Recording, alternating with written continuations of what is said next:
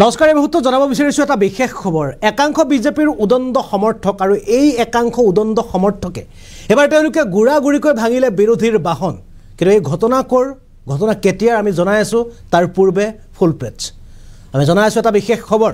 এবাৰ বিজেপি সমৰ্থকৰ এইবাৰ বিজেপি সমৰ্থকে ভাঙিলে বিৰোধীৰ গাড়ী।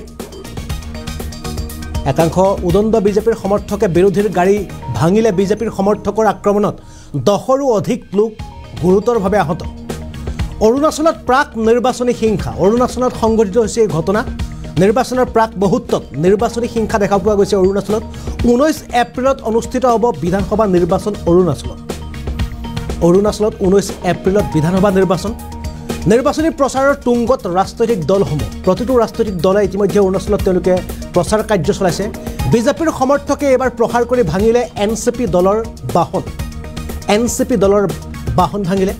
নামচাই সমষ্টিৰ এন চি পিৰ প্ৰাৰ্থীৰ কনভয়ত আক্ৰমণ কৰিছে বিজেপিৰ সমৰ্থকে। ঘটনাক কেন্দ্ৰ কৰি তীব্ৰ চাঞ্চল্য নামচাই সমষ্টিত। আমি জনাই আছোঁ এই সময়ত এটা বিশেষ খবৰ কিয়নো নিৰ্বাচনৰ প্ৰাক মুহূৰ্তত দেখা পোৱা যায় যে বিভিন্ন নিৰ্বাচনী হিংসা আৰু তেনে একেবাৰে নিৰ্বাচনী হিংসা দেখা পোৱা গৈছে অৰুণাচলৰ অৰুণাচল প্ৰদেশত। অসমৰ চুবুৰীয়া ৰাজ্য অৰুণাচল প্ৰদেশত ঊনৈছ এপ্ৰিলত বিধানসভা নিৰ্বাচন। অসমত ঊনৈছ এপ্ৰিলত প্ৰথম পৰ্যায়ৰ লোকসভা নিৰ্বাচন আৰু সেই একেটা দিনতে অৰুণাচলত বিধানসভা নিৰ্বাচন ঊনৈছ এপ্ৰিলত আৰু এই ঊনৈছ এপ্ৰিলৰ বিধানসভা নিৰ্বাচনৰ প্ৰাক মুহূৰ্তত দেখা পোৱা গৈছে তীব- তীব্ৰ নিৰ্বাচনী হিংসা। কিয়নো এইবাৰ বিজেপিৰ সমৰ্থকে এনেদৰে গুড়া গুড়িকৈ ভাঙিলে এন চি পিৰ যিগৰাকী প্ৰাৰ্থী আছিল এই প্ৰাৰ্থীগৰাকীৰ লগত অহা যি কনভয় আছিল কনভয়ক তেওঁলোকে বিজেপিৰ একাংশ উদণ্ড সমৰ্থকে ভাঙিছে। আৰু এই ঘটনা সংঘটিত হৈছে নামচাই। অৰুণাচল প্ৰদেশৰ নামচাই সমষ্টিত এই ঘটনা সংঘটিত হৈছে। এন চি পি দলৰ যিগৰাকী প্ৰাৰ্থী আছিল আগন্তুক নিৰ্বাচনত তেওঁ এন চি পি দলৰ পৰা তেওঁ প্ৰাৰ্থিত্ব প্ৰত্যাশী অৰ্থাৎ প্ৰাৰ্থিত্ব তেওঁ প্ৰদান কৰিছে। এন চি পি দলৰ পৰা তেওঁ নিৰ্বাচন খেলিব নামচাই সমষ্টিত। আৰু এইগৰাকী প্ৰাৰ্থীয়ে এইবাৰ নিৰ্বাচনী প্ৰচাৰ কাৰ্যত ব্যস্ত হৈ থকাৰ মাজতে একাংশ বিজেপিৰ উদণ্ড সমৰ্থকে এন চি পি প্ৰাৰ্থীগৰাকীৰ যি কনভয় আছিল এই কনভয়ত তেওঁলোকে আক্ৰমণ চলায়।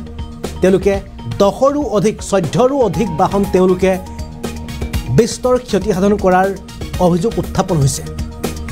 আৰু ঊনৈছ এপ্ৰিলত অনুষ্ঠিত হ'ব বিধানসভা নিৰ্বাচন অৰুণাচল প্ৰদেশত অসমৰ চুবুৰীয়া ৰাজ্য অৰুণাচলত ঊনৈছ এপ্ৰিলত বিধানসভা নিৰ্বাচন একেটা দিনতে অসমত লোকসভা নিৰ্বাচন।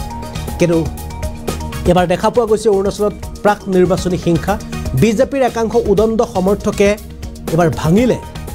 বহুকেইখন এন চি পি দলৰ সমৰ্থকৰ বহুকেইখন বাহন আৰু এই ঘটনা সংঘটিত হৈছে অৰুণাচল প্ৰদেশৰ নামচাই সমষ্টিত।